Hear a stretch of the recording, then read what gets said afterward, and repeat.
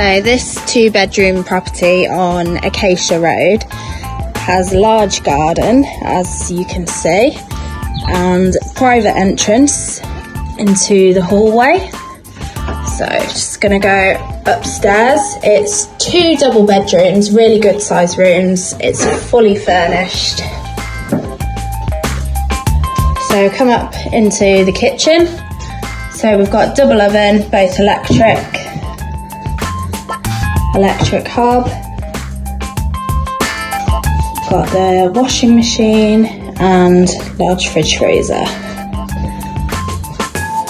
So back out into the hallway. This is the living dining area. So nice big table there.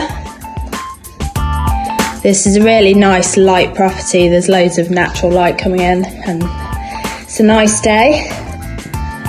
So there's a balcony out here. Bit of storage there.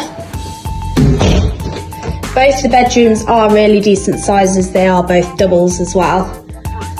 So this is one of them. Fully furnished, ready to go. Plenty of room in here. And this one is the other bedroom. So again, plenty of wardrobe storage space and plenty of room. The heating is electric in here. They are quite new, so they should be quite efficient. Got the bathroom. So there's a bath, toilet basin, storage cupboard, and there is a separate shower as well.